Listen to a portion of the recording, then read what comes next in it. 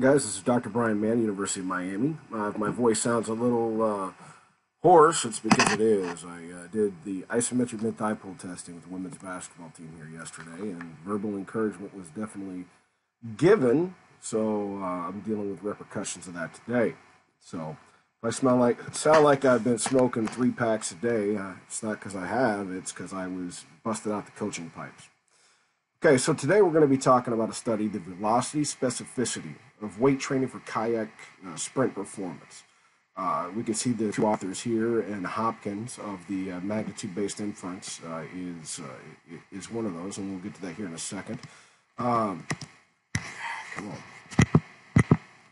Now, athletes often use weight training to prepare for sprint events, but the effectiveness of different types of weight training for sprinting is unclear.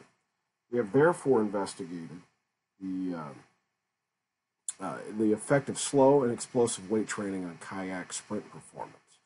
So they're, they've taken high level athletes and they're giving them different training methodologies to see how it affects the sprint performance in the sport. So this is pretty cool. We've got uh, multiple different interventions going on here. We're going to see what's the most effective. So they had three. So they did uh, an explosive, a slow and a control, and I believe we get that get to that on our um, subsequent slides here in just a second to show the differences between the groups. But uh, one of them, the control group, uh, is they didn't do any addition, they didn't train. The explosive group, they uh, had a tempo, and I believe it was like 0.8 meters per second, 0.87 uh, for the repetition. And then the uh, slow, it was like 1. 1.34, 1.7 seconds, somewhere around in there. So it was, uh, I believe it was done off of a metronome. But if we look at the sample, so we got both males and females in here, so we know that uh, how it'll work out for gender. Uh, the sample size by competitive level. Okay, so I think that this is you know, very, very telling that uh, the they've got 29, 10, 9, 10, and 10 national level competitive athletes. You can't get much higher than that. If they're on the national team or they're they're competing at that national level, dude. I mean, this we're talking about elite athletes, so that's something that's pretty interesting here. Uh, we see their ages, uh, how long they've been doing kayak training, uh, and then um, what, how many hours a week do they kayak train? How many hours a week do they do other types of training? Uh, what's the other training? Maybe it's strength training, maybe it's cardiovascular training, maybe, you know, whatever happens to be. They were controlling for that. Uh, we can see that the explosive group had a little bit of a difference there. Uh, their previous weight training percent, so how heavy were they going? Uh, then uh, the last regular weight sessions, how many, how long had they been training? So we see 25 months, 30 months, 26 months. And sometimes the standard deviation is almost the same as the mean, and that's just showing that we've got a wide range of athletes here. Uh, now, this might be a bit of a weakness because then we can't control for training experience. But that's okay because whenever we're dealing with athletes in sport, it gets a little dirty. Uh, I've had athletes who had uh, coming in as a freshman who had been training since they were 12. Now they're 18, so they had six years of training. I had athletes coming in who that was the first time they'd ever been inside of a weight room uh, at the college level across the various sports. So it's not uncommon to see huge variations like that. Now, they had a, a 15 meter sprint, that was what their test was, and they broke it down into different phases. They had a 0 to 3.75 meters and a 7.5 to 15 meters uh, for times that they compared. And we see that there's not a significant difference among them uh, for any of those metrics. We see what their bench press in kilos and their dumbbell pull was in kilos, what their 1RM was. And we see that, hey, man, there's not much of a difference there. Now, the weight training consisted of two sessions per week for six weeks. In each session, the athletes performed three to four sets of two sport specific exercises with a load of 80% of 1RM. Now, here's how the training varied. And we see the 8, uh, 8.85 and the 1.7. So they were taking 1.7 seconds to do the concentric phase for the slow and 0.85 seconds for the explosive. Now, we look here at the adaptations. And I think this is pretty cool. We're going to spend some time going through this. Now, this is, you know, if it's a Hopkins study, you know that it's going to be uh, MBI for the statistics. Now, one of the things to take into account with MBI is that it's been shown to overestimate. Uh, you know, so, and that's okay, uh, in, in my opinion, and that's just my opinion. And whenever you're dealing with super small sample sizes, you lack the power to get significance many times. So looking at the effect size and looking at the magnitude of it, using that to see the difference. Now, whenever you have a small group, you've got to find a different way to do things. Now, is MBI necessarily the best way to do things based off of the uh, the information that's come out? I don't know. I'm not going to get into that argument. I'm not going to get into that debate because, quite frankly, I've got to call people for my uh, anything beyond a, a simple ANOVA. Uh, I've got to call people on how to run it and, and making sure that what I think is the most appropriate is appropriate that's just not my area. And I say that and I bring that up to be full disclosure that hey man, not everybody has to be good in everything. Uh, you, typically, you see a team of authors. You usually don't see a single author uh, as uh, on a publication. That's because everybody's got their strong suit, right? Um, now, my personal opinion is whenever you're dealing with these elite groups, well, statistical significance isn't possible. Well, so let's say that I'm wanting to do a study on Division One athletes in the ACC and the sport of basketball in the city of Miami. Well, I think there's 12 guys on the University of Miami basketball team. And if my power analysis says that I need 30, well, I've got 12. I can't go get another 18. So we've got to look at different statistical methodologies. And I think that that's a strength of MBI. And what I think that MBI is telling us, and again, this is just me, is that, hey, this is something to look at in more detail. Or, you know, hey, you might be onto something here. Not oh this is the this is saying that this is the new uh, idol that everybody needs to be bowing down to as far as training goes. Let's that's just my personal opinion on that. But if we look at the overall speed okay and we look at the difference from slow to controlled explosive control and slow uh, to explosive we see that there was a 3.6% improvement okay, for the slow and control a 2.5% for the explosive compared to the control, and a 1.1 for the slow compared to the explosive. So we see that, hey, explosive control was not as good as slow control. Slow is better than explosive. We look over here, this is the percent chance of substantial improvement. So at 99.9 and 99.5, these are both almost certain. So they both say that the slow and explosive are going to be better than doing nothing. And if we look at that wide variation of the training, we can see that, hey, you know what, uh, I can see that because the training ages are pretty varied. And a beginner, they get just as much out of doing, you know, I, I often joke, you'll hear me uh, in classes or in lectures that, hey, with the untrained population, all they got to do is look at the barbell and they get stronger, which is facetious, but it's not too far off. Anything they do is going to cause improvement in results. Now, whenever we start to look at the different phases, things start to tell a bit of a different story, and we'll get into why here shortly. Whenever we look at the slow versus control, and, and we're looking at the initial acceleration phase, so the 0 to 3.75 meters. Now, why is it important to break these two apart? Well, whenever you're at zero, you're at a dead stop. So being at a dead stop, you are going to have to overcome inertia, uh, and you're going to be having to move different speeds. Now we look at the slow control, explosive control, or slow explosive. So the slow control, we see this 5.6 gain, so it's it's huge, right? Explosive control 1.8, slow explosive 3.6. So we see that, hey man, slow control is king in this one for this phase that we see hey, Almost certain it's 99.5 and uh, versus 69. So we see it's almost certain versus a possible improvement. And that to say that slow is better than explosive in this is probable. Uh, so hey man, let's let's look there. We'll we'll go over why here in just a second. The speed and maintenance phase. We see the slow control is 2.9.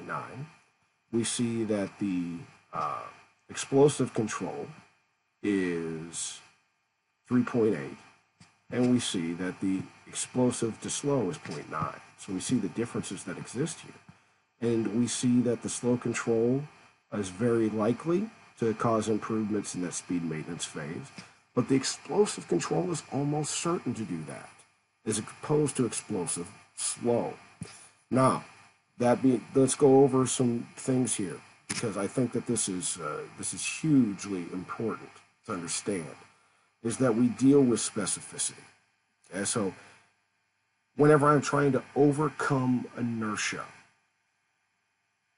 I'm trying to do the start of the sprint. Okay, uh, if we think back about these things, let's look at sprinting or kayaking. Both are going from a dead stop. We have been seen time and time and time again that relative strength for sprinting is important for the first five to 10 meters. Now, whenever we're doing a heavy squat, in the squat 1RM, this is typically what they relate it back to. We know that the 1RM for it moves, for college athletes, in my experience, moves somewhere between 0.35 for the freshmen and down to somewhere between 0.25 and 0.3 uh, for seniors in a sport like football. Now, we can see that, hey, that's definitely a slow movement. And we see that there's an, uh, an improvement there. Now, my guy, Boo Schexnayder, uh, who I, uh, is definitely an acquaintance of mine, I, I dare to call him a friend. Uh, he has often said in presenting and he was a sprints and jumps coach at LSU, that you squat for your 10, you clean for your 20, and beyond that is sprint mechanics. Well, it, it's looking to play true here as well. You are going to do heavy, slow movements to initially overcome inertia. And hey, man, whenever that oar hits the water, it's solid. So you can't really do much with it. You have to go slow, hard, pull with a great amount of force. Uh, low end torque is a, a, way that people would often talk about that. Whenever the uh, whenever you're already moving, well, these strengths at higher speeds are going to be more crucial because they're going to be more reflective of the activity that you're doing. So, like in that 10 to 20 uh, for the sprint, as Boo had mentioned, for the clean. Well, the clean 1RM typically happens at about 1.44 meters per second peak velocity uh, in the sport of football, which is, and let's say mean velocity, uh, we're looking at 1.2 to 1.3. Now, we with that comparison, we see that hey, man, the clean is moving faster than the squat, and the clean is better for the whenever you're moving, so that like that 10 to 20 period than the squat was. So hey, let's look at let's look at this here. You know that if we you know what we need to work on is dependent on what we need to improve. So if somebody needs to improve their start, they should do slow control type training or heavy squatting type training. If they're needing beyond that, for in this study, that's seven and a half to 15 meters, it was that explosive control, and that has to do with the inertia and the speed at which that you can pull the oar uh, to be able to increase the speed there. And the oar might not be the appropriate term. I've looked at kayaks. I've been in one one time, uh, so I might have the terminology wrong there. And if I do, please forgive me. But hopefully you understand the point. So in the clean, if somebody has a great start and then they their acceleration isn't improving like you would think for that 10 to 20 period, well, that's whenever you would work on their clean or maybe a resisted sprint or something along those lines. What happens if they uh, are great at the up to the 20 meters and then that, that 20 to 40 is where they, they lack? Well, maybe it's the resisted sled sprints, maybe it's assisted sprinting, maybe it's, you know, there, there's different things that you would do. So, one of the things that we need to take into account also is the phase at which the movement is being done. Uh, I've seen some studies that simply talk about the squat and 40 and they didn't break it down. Well, most of the changes in the sprint time happened in the first 10 meters, uh, first 10 yards. Excuse me for that. So that's what, like 9.6 or 9.9 meters, something like that. So what we're looking at here are the uh, the differences in training and training specificity. If you need to improve a period that has just good speed, well, you're going to be doing the more explosive lift. If you're needing to improve a portion that is slow speed, you're going to look at that. So this specificity comes back into it, and that's all we're talking about here. Now, slow weight training, according to this study, is likely to be more effective than explosive training for improving the acceleration phase of sprinting. And, uh, and that's talking about the kayak. Uh, I don't really look at that as acceleration. Uh, I, am looking at it as starting speed, uh, and, and, that's okay. Or it's a, well, actually really a, just a strength movement to overcome inertia. Now, the explosive weight training may be more effective in speed maintenance or in my opinion, acceleration, uh, when forces are developed rapidly over a short period at the start of the stroke. So basically, what we see is, hey, man, one is not better than the other. So that's this study was not saying that at all. It was showing what is more likely to have an impact where. So if you want to work on the start, again, work on the heavy slow. If you want to work on acceleration or speed maintenance, as they called it here, uh, work on the faster loads. And remember, actually faster means of performing the repetition.